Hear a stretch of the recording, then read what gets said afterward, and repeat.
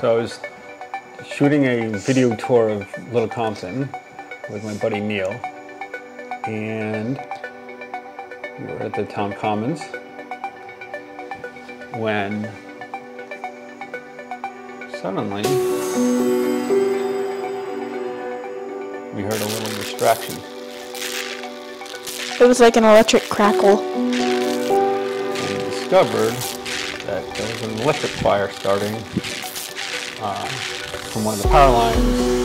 So we zipped over to the uh, public safety center, which is like 30 seconds away. Right down the road.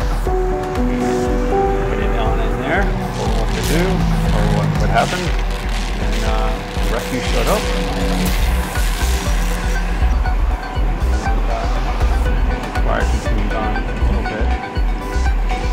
They eventually had to shut the power off.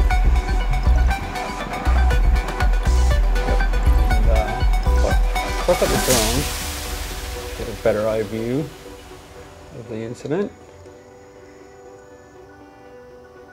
And then, fortunately, like National Grid or Rhode Island Energy showed up and uh, cut the juice. And